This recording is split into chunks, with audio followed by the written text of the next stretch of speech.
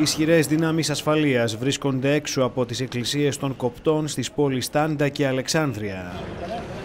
Ίδια η εικόνα και στο Κάιρο μετά τις δύο επιθέσεις αυτοκτονίας που στήχησαν τη ζωή δεκάδων ανθρώπων.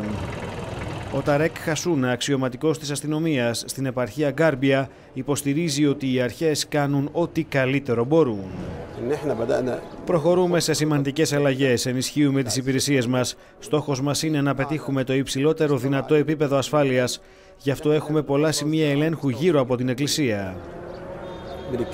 Παράλληλα, δυνάμεις ασφαλείας ελέγχουν εξονυχιστικά όσους εισέρχονται στο ναό, αλλά και όσους κινούνται στους γυροδρόμους.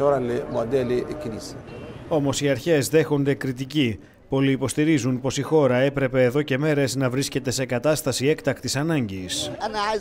Θέλω να ρωτήσω τον πρόεδρο Σίση γιατί δεν κήρυξε τη χώρα σε κατάσταση έκτακτης ανάγκης δύο εβδομάδες πριν τις γιορτές. Πήρε την απόφαση αφού έχει συμβεί το έγκλημα. Τώρα έπρεπε να γίνει αυτό. Είμαστε στον Απρίλιο. Δεν τον κατηγορώ προσωπικά, όμως ο σχεδιασμός των αρχών δεν ήταν σωστός. Οι χριστιανοί της Αιγύπτου αποχαιρετούν όσους τόσο άδικα έχασαν τη ζωή τους ενώ βρισκόταν στην εκκλησία. Σε πολλά φέρετρα ήταν γραμμένη η λέξη μάρτυρας. Στις 28 και 29 Απριλίου ο Ποντίφικας επισκέπτεται την Αίγυπτο.